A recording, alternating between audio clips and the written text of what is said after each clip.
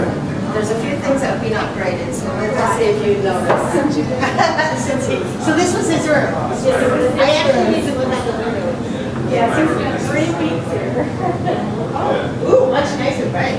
Oh, yeah, new right. Well, Different bed. no, bed? no, same No, bed. same That is bed. the, the lead is over here, this direction. The lead, Yeah, yes, here's my view. Every day I would come over to the window. This got all changed, right? yes. Yeah, new counter. The, uh, I would come over here and look outside. And There's, there's not much of view from this place, but I, There is not.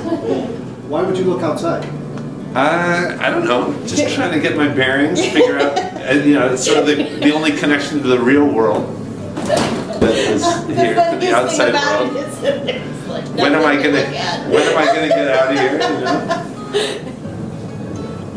But yeah, that was, it was great, actually, that I had my own computer, Separate from the. Yes. separate, separate from this one. It was very key to have a, a second machine.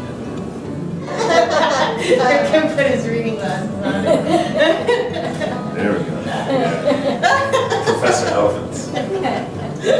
Wait. I mean, how does it feel to be back in here? I, I, I just am a little worried that you're gonna leave me in here. Just wanna make sure I uh, get back out. We would never do that.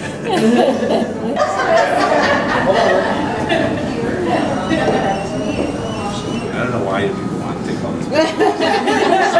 Some guy who got sick. Because we have to spend time with you.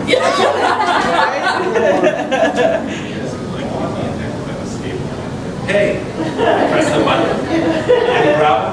No problem. I'm lonely.